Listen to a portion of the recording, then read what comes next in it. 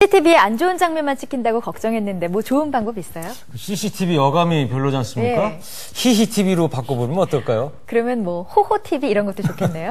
뭐 좋은 일 있는 것 같아요. 네, 네. 인사드리겠습니다. 시청해주신 여러분 고맙습니다.